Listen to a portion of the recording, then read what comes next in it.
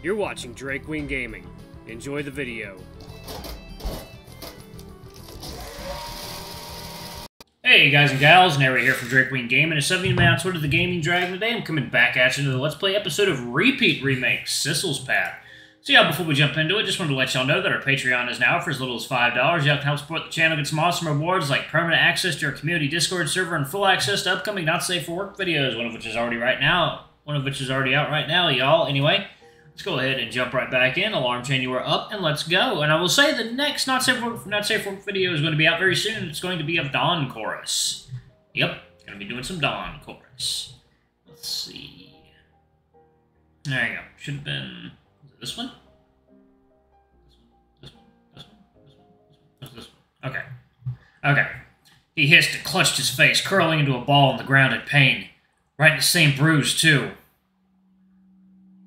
You're in no position to bargain with us, Herschel McDermott. But tell you what, I'm feeling very generous today. I'll give you a week to settle your little payment. Don't care how you do it, just get it done. If you disappoint us again, the thug flicked his cigarette. Hot ash littered the floor of the cafe, the air filling with an acrid scent. We'll take everything you have left. This cafe, your sad little life, hell, maybe even that kid of yours. This debt needs to be paid one way or another. You've got a week, Herschel McDermott. Don't disappoint us. Heavy chairs scraped across the floor as the two thugs got up and left the cafe with venomous cackles. Herschel stayed still as a statue as the door creaked to a close. His hand was still pressed against his throbbing eye while his mind swam frantically. He had nothing. Worse yet, he may have somehow roped Sissel into this. How in the world was he going to get out of this one? Herschel jumped at the sound of a door creaking open behind him. Sissel and Adrian rushed into the dining area, their faces awash with concern. Boss, are you all right? What the hell was that? The nerve of those people! Why oughta? Adrian rushed over with uh, rushed over with, and Herschel offered a bag of ice. Washed, uh, washed over with. Okay, washed over with with him and offered a bag of ice. There was a knowing look on his face as he glanced between him and Sissel expectantly. Herschel pressed the ice against his bruised eye and curled up tightly on the cold floor. He suddenly felt like a desperate fool, a survivor clinging onto the wreckage of a sinking ship. He couldn't keep the charade going, could he? As Sissel swore loudly above him, Herschel let out a deep, defeated sigh and sat up, sat up straight. Just because you owe some money doesn't mean they can go around doing whatever they want. Do you need me to call the police, boss? We should give these thugs what's coming to them. Herschel waved a dismissive hand and shook his head. Those guys, they come from a big and important family. Calling the cops on them would just make them laugh. Plus, they'd probably use it as an excuse to end me. Sissel scowled as he helped a shaky, helped a shaky Herschel onto a chair. There's got to be something we can do. How did you end up in this mess anyway? Why did you never tell me?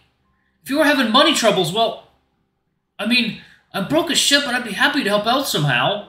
A pained look spread across Herschel's face as Sissel continued his worried rambling. Did I hear them right, though?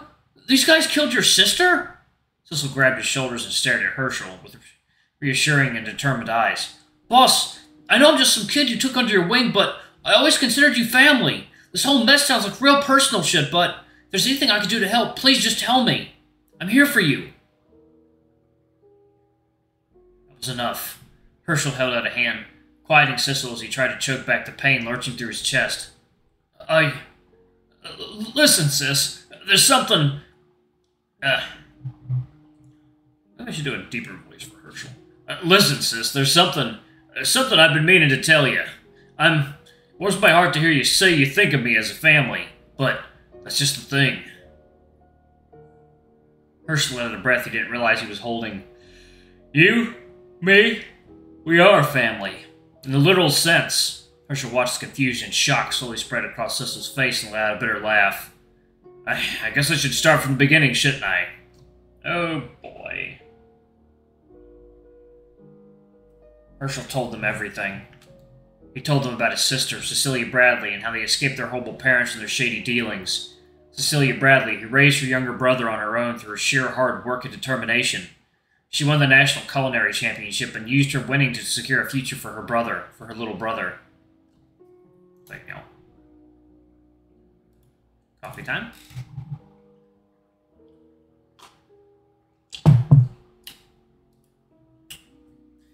Told them how Cecilia's husband abandoned her with a child, but she decided to raise him with love anyway. Herschel's voice broke as he confessed to stealing money from Cecilia for a chance to win the national culinary competition himself, and thus she had no way to pay off her debtors. Cecilia Bradley was murdered for his selfishness. Her debt left unpaid. Her debtors decided to get rid of her, leaving Cecil motherless, penniless, and lost from Herschel's reach for years. Throughout his entire confession, Cecil remained silent. There was a storm of emotion across his face anger, worry, betrayal, fondness. His fists gripped at the side of his chair, knuckles painfully white as he tried to find something to say. I watched him with anxious concern. Cecil, are you okay? He opened his mouth, closed it, and shook his head. I. No. This is just so much. I thought my parents. People found me as a baby abandoned in a fucking dumpster, and now you're telling me. Cecil shook his head furiously as though to rid himself of unwanted thoughts. I'll deal with all that later. There are more important things. He took a deep breath, trying to steady the conflicted anger that was no doubt boiling inside. He turned towards Herschel. First of all, what does any of this have to do with those thugs from earlier? Herschel watched him with nervous consideration. He wasn't sure whether to be pleased or horrified that Cecil was still worried about him. Well, after Cecilia, your mother died, debtor, her debtors came looking for any source of another source of money. Naturally, her remaining debt fell to me, since I was her last surviving family. I've been paying them off every month these past few years to stave off their wrath. That's why I've never hired anyone else to work at the cafe besides you. I never afford to, you know? I missed a few payments since that fire in the cafe a few years back. They've been growing impatient. Herschel sighed and stared at Cecil for several long moments. Listen, Cecil. I'm sorry for everything. For destroying your chances at a decent childhood. For killing your mother. For hiding these secrets for so long. For being a worthless, good for nothing uncle. Everything. Cecil stared at the weeping man in front of him, his own head a mess of emotions. Family. He's got a family. But all this baggage, the hurt. Was too much to deal with right now. But Cecil took another deep breath. I I don't know how to feel right now, but at the very least, I know I don't want to hurt you. We'll talk about this later. For now, let's focus on the immediate problem. You're not safe here at the cafe with those thugs after you. When will they come back? Do you have a safe place to stay? Herschel stood up suddenly with a mixture of horror and fury. Why are you still trying to help me? There was a sudden, there was a stunned silence across the cafe. Herschel stood shaking, furious in sheer bewilderment. I hurt you! I ruined your life! I killed your mother! I destroyed your chances of a decent childhood! All because I was a selfish dumbass who wanted to win a damn trophy! I. I. It's not that simple! I. I am angry! But that doesn't mean I don't want to help you! I don't deserve your help! A worthless man like me deserves nothing! After all that I've done, why do you still care about me? I'm. I'm just horrible. Years of pent up guilt and self loathing poured out of his throat. The tears won't stop burning his face. Herschel's voice broke and he collapsed onto the, he collapsed back onto his chair, panting heavily. He buried his face in his hands. But what about don't you two have classes today? Go, leave me alone. Why are you making this so damn difficult? I'm trying to help you, damn it. You will not help me. I won't allow it. This family's got a bad tradition of passing undeserving debts over the next generation onto the next generation. I'm not about to keep that tradition going. This is my punishment to deal with. But leave. Gritted his teeth and stood up furiously, knocking his chair to the floor. Fine! Cry alone, see what I care! With that, he stormed out the door, leaving Herschel by himself in the empty walls of the cafe.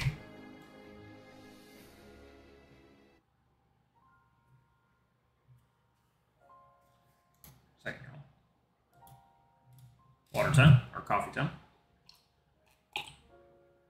I mean, if he doesn't find some way to either pay them off or get back at them, then it is probably going to pass on to Cecil. that debt. It was hard to focus on classes when the world felt like it was falling apart. Cecil was silent the entire trip back to Girani Academy. And silent he stayed, stone-faced and arms crossed as he fumed quietly in the back of the classroom. He ignored all my attempts to talk with him. Even my texts to him during class were left unread. His brow was furrowed into a tight knot as he glared angrily at nothing in particular. Mrs. Corley spared a few worried glances in his direction as she continued her lecture of the day. I sat a few seats in front of Cecil, occasionally glancing back towards him with concern. This, this wasn't the outcome I expected, but it could have been worse. Memories of the previous timeline surfaced in the back of my mind. I gulped, pushing back the bile threatening to escape my throat. This, this outcome isn't ideal either. At least Sissel was still here. We could work with this. At least, I hope so. I'll have a talk with Sissel later to sort out what, what we should do, and I blinked and glanced behind me again. The only thing staring back at me was Sissel's empty chair. What? Where did he go? He was right there a minute ago. Worry clawed at my chest as I scanned the classroom frantically. Nope, he was nowhere in sight. Maybe he went to the bathroom or something. He couldn't have left, could he? No, don't tell me he hopped on a train and abandoned everything again. I took a deep breath and tried to remain calm. It's it's best not to make assumptions. Let's just wait a while. He probably needs some time alone to sort out his feelings anyhow. I'll wait and see.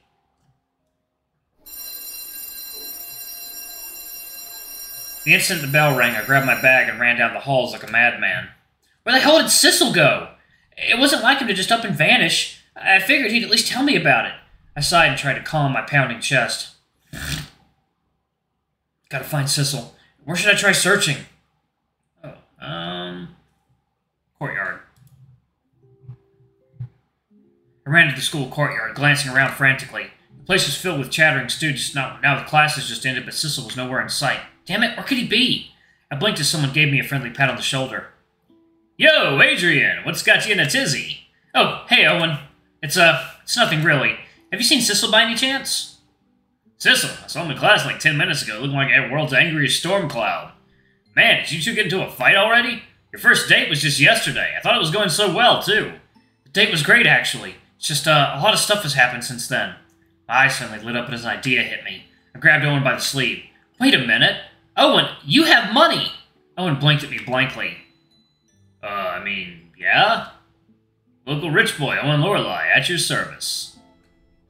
If you're looking for a sugar daddy, though, you should probably talk to Sissel first. You're cute, and I might be open to some group fun, but I respect Sis too much for... No, you dumbass, that's not what I'm talking about. You could help us with something. Listen, you know Sissel's boss, Herschel? It turns out he's getting threatened by a bunch of thugs to collect on some shady debt. I know it's not polite to just ask for money, but they're threatening to hurt him real bad, maybe Sissel too. Oh shit, that sounds like some serious business. Didn't you call the police, or... Wait a minute. Owen frowned. Shady? Debt collectors? A strange mixture of nervous guilt slowly knotted in his brow. Did you happen to see what these thugs look like? Um, I did catch a glimpse of them as they were leaving. They're pretty well dressed, probably on the wealthy side. I squinted. Now that he mentioned it, those thugs looked an awful lot like did they look like me? I flinched. Well, maybe a little. Oh, Owen bit his lip and grimaced. That's not good. I, I think I need to go. Huh? Wait, where are you going? Oh, Owen stormed off without another word. He, he barely spared me a second glance as he ran towards the school entrance in an anxious sprint. I wonder what had gotten into him. Alright. Gotta find Sissel. Okay. Gotta find Sissel. Where were they? Where should I try searching? Go to the cafeteria. I poked my head into the school dining hall, only to be met with disappointment. Sissel wasn't here either. If I were upset, I would just stress eat my worries away, but it looked like Sissel had other ideas. Where could he possibly be? Hey, Adrian. Huh? A face suddenly appeared inches away from my inches from my face, studying me suspiciously. Philip? What the hell are you doing? You look like shit. What happened? Please don't tell me Sissel dumped you already. It's barely been a day. Janine and I didn't put all that effort threatening the staff at Very Legal Seafoods for you to muck it up in less than 24 hours. I puffed up indignantly. Hey now, have a little more faith in me. That's difficult when you have the expression of someone whose goldfish just died. What's the problem then? I scratched my head awkwardly. It's a little difficult to explain. If you're having bedroom issues, Owen can probably give you some advice. God knows he won't shut up about it's nothing like that! Hmm? I tugged at my hair and let out a frustrated sigh. It's just that Cecil's boss got into trouble with these debt collectors and Cecil wants to help him. But Herschel's refusing to take any help, which is making Cecil really mad. And I want to help Cecil, but now he's so mad that he won't even talk to me. And now he's disappeared! I thought since, were, since we were dating, we'd be more open with each other. I'm here to help him, God damn it! I collapsed into a nearby chair with an exhausted huff. Oh! This is, uh, a lot more serious than I expected. There was a rustling sound as Philip gingerly dug through his handbag. Suddenly, I suddenly felt something cold press against my cheek. Philip gave me a small supportive smile as he popped a bottle of chocolate milk into the dining table in front of me. I uh, figured something cold and chocolatey would help calm your nerves. Alright, I'm going to go ahead and pause it right there. Thank you all so much for watching. Don't forget to like, comment, subscribe, ring that notification bell, and check out our Patreon if you can. It always helps. Anyway, I love you all. I'll see you on the next video. Bye-bye!